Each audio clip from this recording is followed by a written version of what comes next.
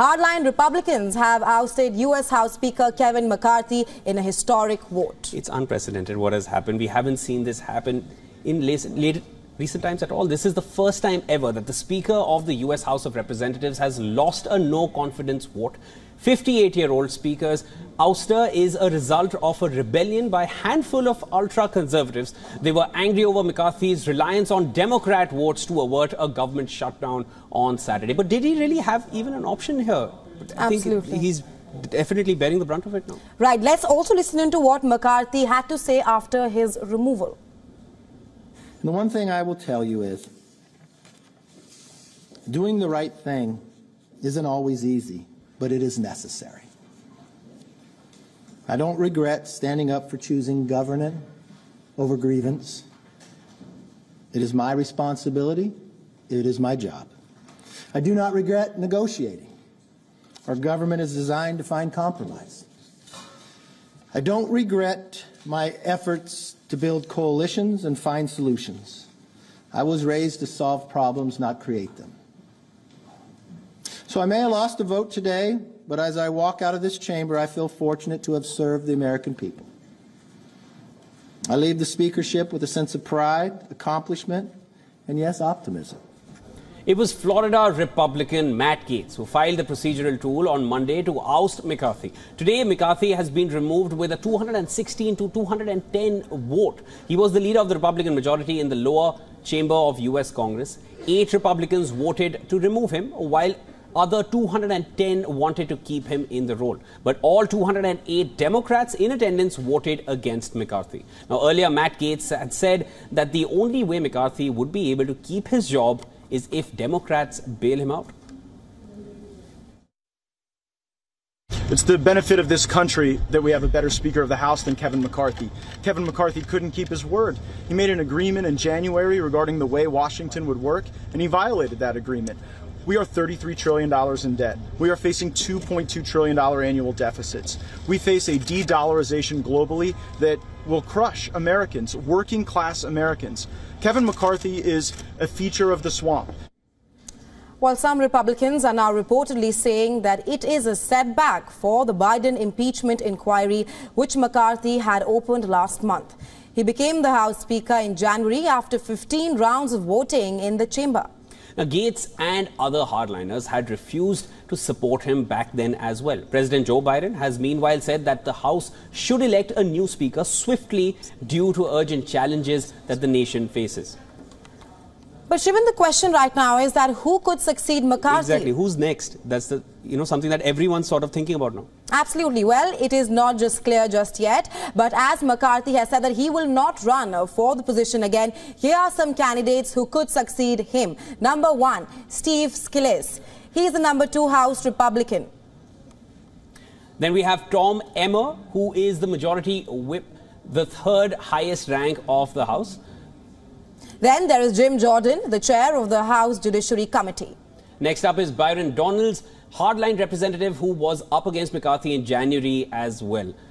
And last but not the least, Patrick McHenry. He is the chair of the House Financial Services Committee.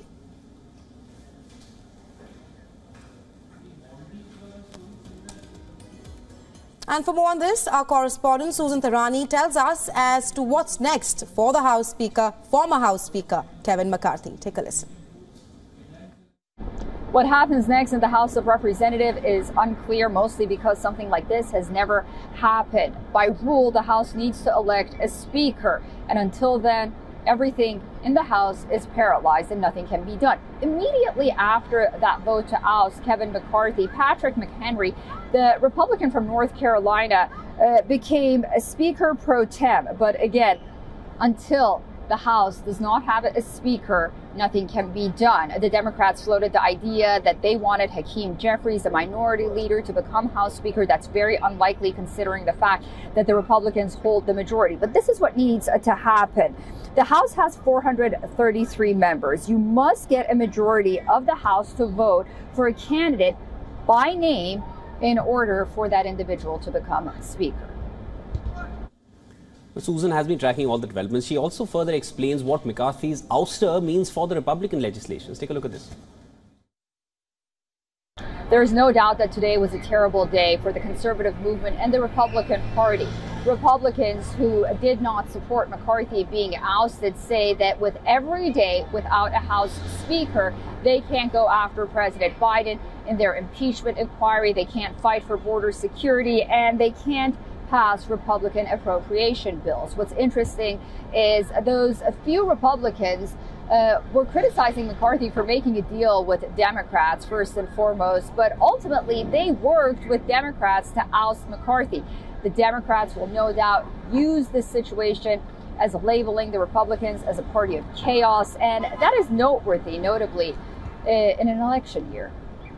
And for more on this story, we are now being joined by Mark Meirowitz. He's joining us live from New York. Mr. Meirowitz is a political commentator and also professor at State University of New York.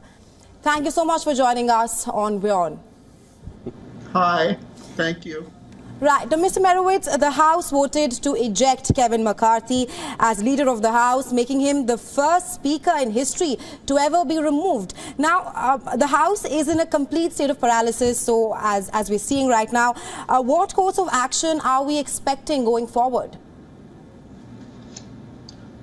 Well, I mean, I think the Republicans are going to elect a new speaker, and uh, I think probably it will be Steve Scalise. Um, he's very, very popular. Uh, the, the one issue is that he has been ill with blood cancer, but he was interviewed and said he feels great. Uh, he's highly popular, uh, and I think he's the high, he's the best, uh, I think, candidate out there. Uh, you know, life will go on. Look, um, uh, McCarthy saved the country by um, preventing a government shutdown. McCarthy said that he could not look the American troops in the eye because he wouldn't pay, them, not being able to be paid mm-hmm. for serving in the military. He just couldn't, in good conscience, do it. Uh, he worked something out, but whatever he worked out, he was determined. He was called a traitor by this uh, fringe group in the Republican Party. This bodes very badly for the House as an institution. Mm-hmm. And as you say, it's the first time that the full House has actually ejected the Speaker. But remember that McCarthy came in on 15 ballots, and it was incredibly tense and incredibly contentious. So his speakership was always in mm-hmm. uh, jeopardy. So, I mean, I think, you know, this is just more endemic of our politics. Yeah, it doesn't yes, come as a surprise that he's been ousted. It, I mean, there were enough hints for it happen, but it's definitely something that's happening for the first time that we've seen. McCarthy's ouster will bring legislative activity in the House to a halt. You know, those are now the pressing concerns. There is another government shutdown deadline looming November 17th. Do you feel Congress would extend funding by then? Or is there any way to avert that instead of seeing what we've seen right now again? Look, I mean, shutting the government looks terrible for both parties. Um, and the fact of the matter is, we've been doing this over and over again. A year in, year out, we've got this problem with shutdown, and we've had some shutdowns. We had shutdowns in the past that went on for weeks. We've had them, and uh, the implications are very, very clear. The problem is that American politics right now is complete turmoil. Think about it. The House Speaker was ousted. The former President of the United States has been sitting in court and has four different indictments. The House was, as you said, in the middle of an impeachment inquiry against the sitting president, who's being accused of, uh, of, of, of uh, transactions, improper transactions with his son. I mean, how is it that the American people are supposed to concentrate on the fact that we have a presidential election year coming up? We have turmoil up and down uh, Capitol Hill and up and down Washington, D.C. And whose fault is it? Well, we're very polarized. And I think that's the problem. If you're asking me how this gets solved, it doesn't get solved until people start working together. And frankly, in the good of the American people, and McCarthy was very clear in his press conference about that. He thought he did the right thing for America, and he did.